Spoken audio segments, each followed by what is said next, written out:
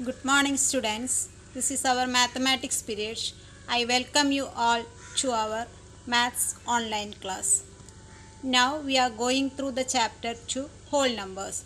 Today we discuss number lines for whole numbers, which is the topic number line. So on number line you can see the numbers from 0, 1, 2, 3 etc.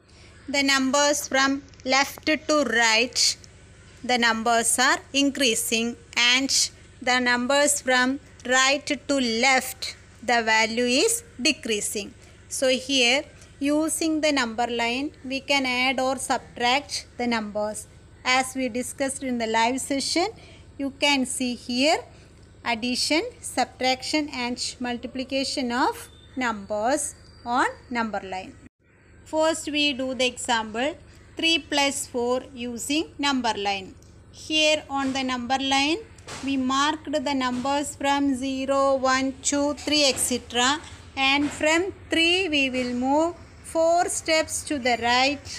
Then where we reached at the point 7. So you can write 3 plus 4 is equal to 7. This is the way we are adding numbers using number line. Next we can check the subtraction of numbers on number line. Here we do 5 minus 3. Then what we can do? First we will point at the number 5. Then how many steps we have to move left? 3 steps.